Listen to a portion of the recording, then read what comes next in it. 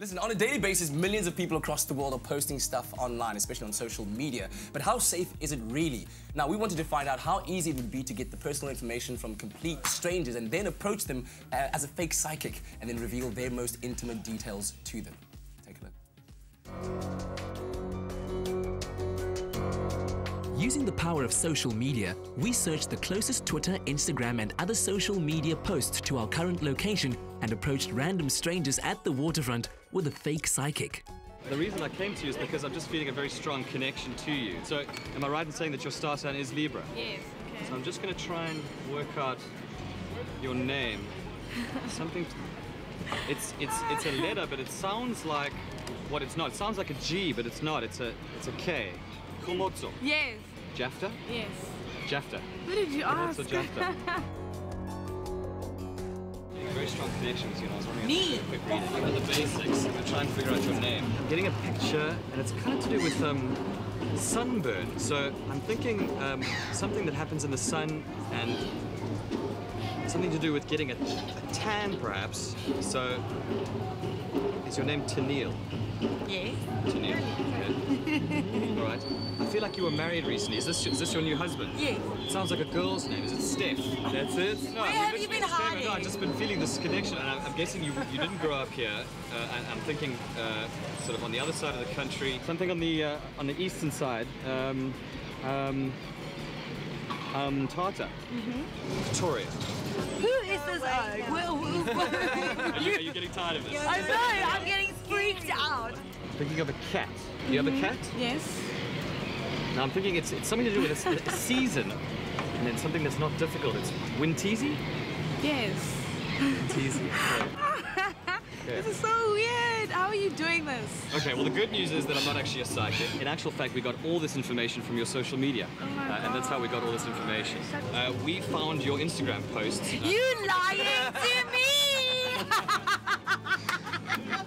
and this is a social media experiment, and it's basically about uh, sort of cautioning people about what they post online. So we saw your post at the restaurant uh, with your steak that you were eating, your chili chocolate steak. Yes. And from there, we were able to go and get information from your Facebook profile and from your Instagram. I should stop hashtagging immediately. yeah, it's not the hashtag, it's actually the geolocation, and that's how we were able to track exactly where you were. So when you post, uh, the best thing probably is to switch off your GPS. Cool. Oh my gosh. Ah! I'm able to literally pinpoint exactly where you are. You came to here to find I me and freak me out know. like that. Thank you. Yeah, sorry. nice. When it comes to posting online, be careful where and what you post because anyone can gather information on you using just your social media profile. So if you're also thinking you're lying to me and asking who is that oak, he's our fake psychic, Ross Stacey, who joins us this morning as well as our social media guru, Grant Hines. Dude, well done on a crazy experiment, but also I think very effective in, tra- in translating through a very important message. But let's just go it quickly. How did you do it and how easy was it? So look, I mean, we're, we're posting constantly, all of us, on social media. But what many of us don't realize is that um, unless you manually are, are checking the settings on your on your mobile apps, Yeah, yeah, yeah. um, you're basically embedding a location into your tweets, into your Instagrams, so people can track exactly where you're posting. So there's a number of free apps, and they're available online. It's it's actually frighteningly easy, and they're man. basically able to to show you um, not only what you posted, but where and when you posted. So we headed down to the waterfront and uh, we essentially um, just waited for somebody to post something. And the first person that posted something was a young lady who was posting a, an Instagram photo of her chili cheese steak um, at a restaurant. So we essentially went there. Uh, Found out what she looked like through her Instagram profile, and from there we were able to basically link up to her Facebook, to her Twitter, uh, to her LinkedIn, and basically just got all this personal information about her, which we then approached her with. Wow, I think Komoto Jaffa just got like an extra 50,000 followers just ran her entire reel there. But I mean, okay, so lots of them surprised, a bit of shock, but I mean, was there a real sense of kind of nervousness, a sense of danger from these people that you stalked?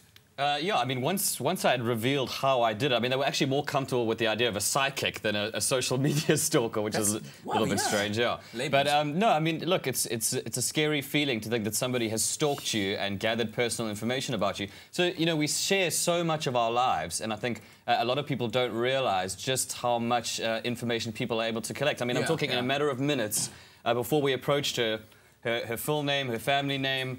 Uh, you know, her friends' names, where she lives, where she works, where she studies, where she hangs out, um, even her cat's name. you know, That's so- crazy. Yeah. So, Grant, how, how can people then go about protecting themselves and preventing this kind of social media stalkerism going on? Well, there's a lot of benefits to having location services uh, on your phone. So when those things are defaulted, it's not necessarily something that's insidious by those companies. So Mm-hmm. put, bear that in mind before you do it. But stuff like uh, uh, metadata inside your photographs of any photograph you've taken. What is it? What's metadata? So uh, there's data inside your image that you take with your camera. Even Yeah. even you don't realize, but it's there. You can actually post that photo to Facebook, and you can retrieve metadata from that photo, and it can find out where those location settings are. So the best thing to do is to switch off all your location services if you're worried about this yeah, kind yeah, of thing. yeah. Because you see, like when you when you uh, activate your phone in the beginning, by default, all location settings are on because the smartphone uh, kind of things that you want you'd want They to want use to track you, yeah. Yeah, so you just go into general settings. Location settings is one thing. It's un- usually under privacy, Yeah. so it's not under location, which is really hard to find.